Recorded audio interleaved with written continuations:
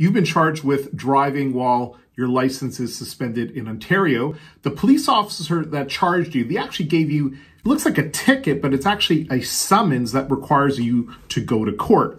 What's going to happen at that court date? Here are five things that you need to know.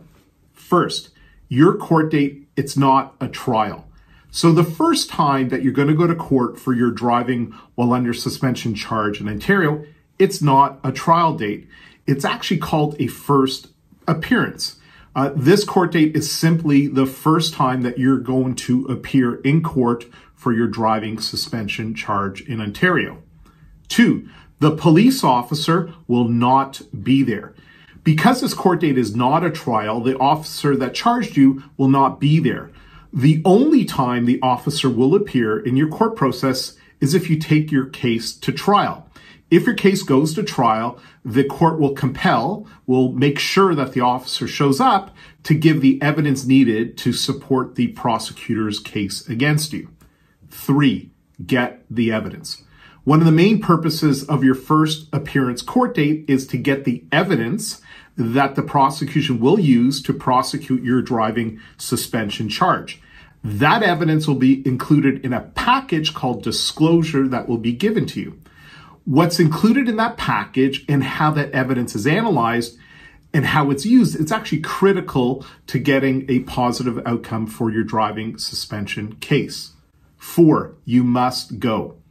Even though your first court date is not a trial, legally you have to show up to that court date. Now, you should check whether that court date is in person or online, but you have to attend. If you don't attend, the Justice of the Peace has the option to issue a warrant against you, and you may be subject to further charges. Bottom line, show up. Five, do not plead guilty to the charge as is. Now, I get it. You know, getting charged with driving while under suspension it's stressful. Uh, you're facing a minimum six month mandatory driving suspension, and in some cases, in some circumstances, you may be facing jail time. Now, what makes the stress even worse is that this legal process you're going to have to go through, it's going to take a long time. That pressure, what happens is it just sometimes leads people to plead guilty because they just want to get it over with. You should not do that because the consequences of a conviction for driving while under suspension can be devastating. Take a step back, speak to an experienced lawyer, get a free consultation about your options. It's very common that when you get an experienced lawyer involved that you're going to get a much better outcome than if you would have dealt with your case without a lawyer's help.